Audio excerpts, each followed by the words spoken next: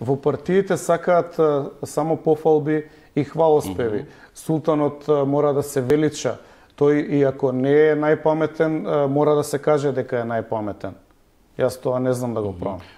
Вие сте десница по вокација. Да. Јас лично мислам дека ВМРО допомене треба да го избрише префиксот ВМРО, бидејќи не оправдува историската конотација со своето делување и не сме да го носи тоа име, затоа што ништо што ВМРО правило, ВМРО ДПМН mm -hmm. денеска не го прави. Оној чиновникот на Мицковски што денеска е градоначалник на Кисела вода во една пресконференција рече дека не сум го ажурирал членството според тоа не сум член. Така што ја не знам дали сум член и небитно. Во джепот со мене носам членската книжка од 90-те години, каде што стои нели моето членство. Ако на некој му требам во ред, ако не им требам повторно во ред. Но за го задржувам правото да коментирам и ми се чини дека тоа најмногу ги боли.